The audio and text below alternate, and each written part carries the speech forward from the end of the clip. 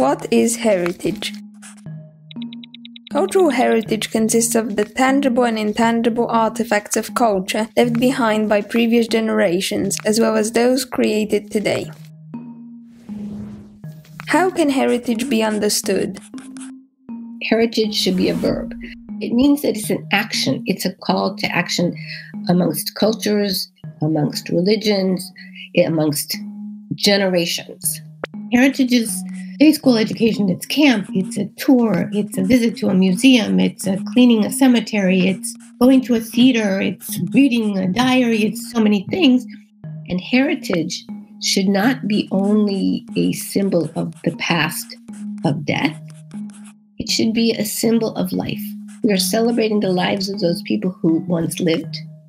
Then we are celebrating culture, tradition, knowledge, science, anthropology, everything understanding of heritage, it's a level of digging what's on the surface and what's deep below, and whether or not we can find it.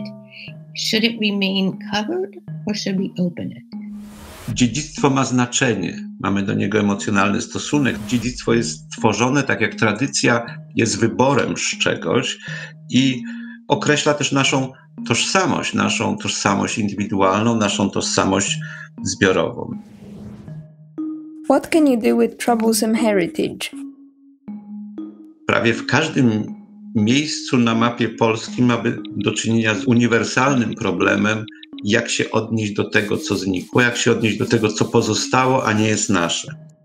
Kłopotliwe jest y, po niemieckie, kłopotliwe jest po żydowskie, ale kłopotliwe jest również to, co jest pokomunistyczne to nie jest temat polsko-polski, to jest temat europejski, a myślę, że szczególnie dzisiaj to jest środkowoeuropejski, bo przecież odniosę to przede wszystkim do faktu zmian granic i dziedziczenia po innych, po okupantach, po najeźdźcach, czy spuściźnie po wojnie. Pytanie więc, jakie sobie stawiamy dzisiaj, jest takie: co robić? by kłopotliwe dziedzictwo niekoniecznie przestało być kłopotliwe, ale żeby było nieobce i niewrogie. Dość późno mm, zrozumiałem e, znaczenie obecności Żydów e, w Lublinie. W zasadzie jej nie dostrzegałem. Przypominam sobie, że przychodziłem na Stare Miasto, na plac zamkowy w okresie moich lat licealnych.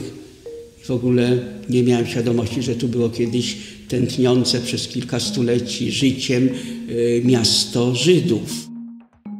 רוב שימור הזיכרון היהודי הוא הרי לא על ידי מדינת ישראל בפולין וגם לא על ידי היהודים, כלומר זה על ידי מקומיים. מתוך תפיסה של אותו זיכרון משותף, שיש לנו היסטוריה משותפת, גם אם הגורלות הם התפצלו לפעמים בתקופת השואה, אבל המרחב והאין היהודי הזה הוא חלק ממי שאנחנו ורצון להנכיח אותו. How to talk in spite of differences. How do we get to the point where we can all talk about our history, whether it's very clear history, which may be very troublesome, memories which may be completely different because of who one was in that particular narrative at that particular time. We also have to value what is the narrative we want to share with others. My story is going to be different other people's stories. Even if we think we don't agree, we need to know what we don't agree with. So that if we create sensitive narratives, not whitewashing, not ignoring, then we're on the right track of actually moving forward with preserving and transmitting Polish Jewish heritage. Myślę, że jest tutaj pewien fenomen, który powinien jakoś e, dotrzeć do dwóch stron. Ja nazywam to pluralizmem wrażliwości. No, trzeba zrozumieć i nauczyć się mówić o pewnych bardzo drażliwych sprawach w ten sposób, żeby nie wywoływały od razu wrogich emocji. Trzeba się nauczyć wymieniać zdania, wymieniać opinie na temat przeszłości, na temat historii, wykazując cierpliwość i dążąc, żeby zrozumieć tą drugą stronę i żeby nawet postawić się w jej sytuacji. No ale z drugiej strony są pewne granice tej tolerancyjności, że nie można znaleźć wyrozumienia do ideologii powiedzmy skrajnie nacjonalistycznej. Ja wtedy ja się nie powstrzymuję i mówię, że ja takich postaw nie przyjmuję. Die Schülergruppen aus Deutschland, die seit 1998 regelmäßig nach Lublin fahren, haben sich natürlich auch im Laufe der letzten Jahre sehr verändert. Es sind sehr viel mehr Schüler mit einem Migrationshintergrund, Teilnehmer dieser Fahrten. Und natürlich identifizieren sich diese Schülerinnen und Schüler vornehmlich mit ihrer eigenen Heimatgeschichte oder die ihrer Eltern. Alle besitzen in der Regel inzwischen einen deutschen Pass und müssen sich damit auch zwangsläufig mit der deutschen Geschichte auseinandersetzen und identifizieren irgendwie. Hier gilt es natürlich immer wieder zu sehen, dass auch hier solidarisches Handeln, der Bezug auf unsere Verfassung, auf unsere Berufung, auf die Menschenrechte ein wesentlicher Teil unseres demokratisch verfassten Staates ist. Ein friedliches Zusammenleben ist nur möglich, wenn man Solidarität übt und vor allem der Opfer gedenkt, der Opfer des unmenschlichen Verhaltens, beispielsweise der Nationalsozialisten im Dritten Reich. How do stereotypes work? אז אני באה ממשפחה שהיא שבע שמיניות פולניה, שמינית הונגריה. בעצם כולם עלו לפני השואה. ועדיין הבית שבו אני גדלתי היה בית מאוד אנטי-פולני. המקום הזה של אה, פולין היה ארץ של הפרעות, האנטישמיות, ושהיה צריך לעזוב משפחה מאוד מאוד ציונית. אה, אני חושבת שאולי השינוי הגדול ביותר ברמה המשפחתית היה כשעשינו טיול שורשים. זה לא היה מסע, זה היה טיול.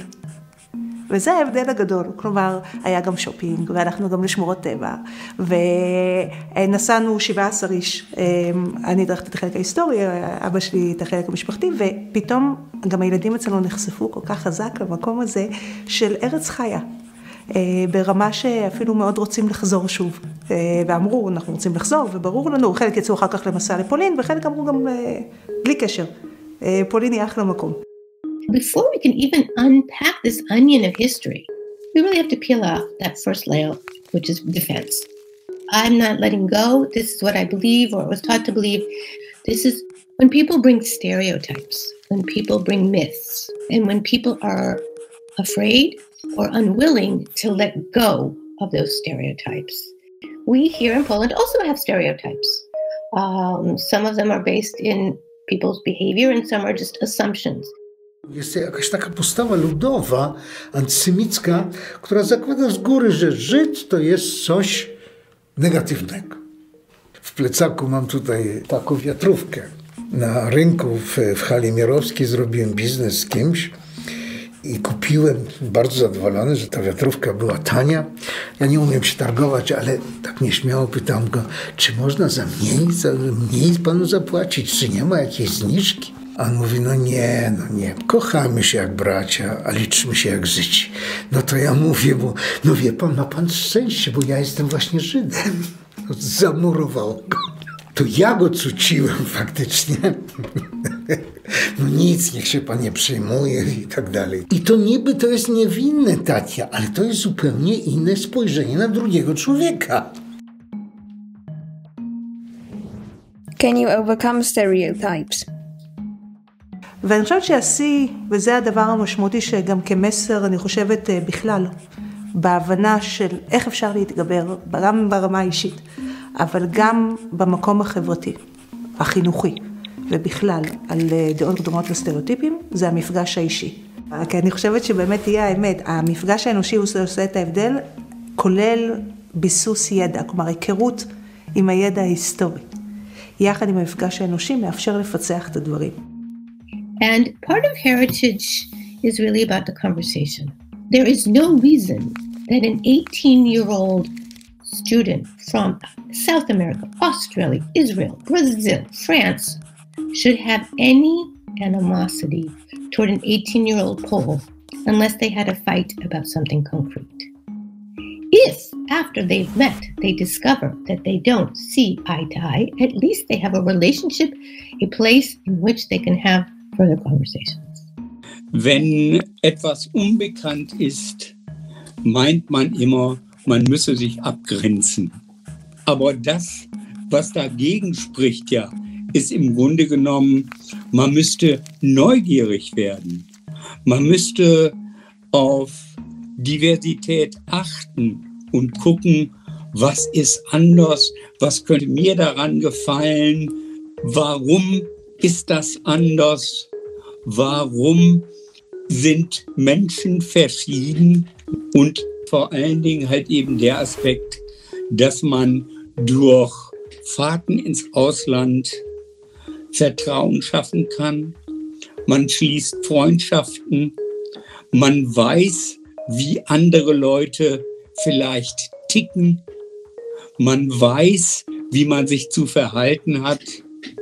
Man übt Toleranz. Alles Dinge, die einfach vergessen werden, wenn man sich Pressemitteilungen heutzutage ansieht. How to remember heritage. Potrzebna nam jest dialogiczna pamięć, to znaczy, to najpierw powinniśmy uczyć tego, co ja nazywam polifonią pamięci. Powinniśmy budować w sobie wrażliwość na pamięć innych. Understand that there are certain non-Jewish, Christian, Catholic, Muslim traditions that I have to be aware of to understand why sites and memory are as they are. The dialogue is not just among people, but it's among the past, between people and their past, and contemporary issues. So heritage is somewhere between to remember and to guard. But if we guard it too closely, we don't allow others in. And if we don't take care of it well enough, it will disappear.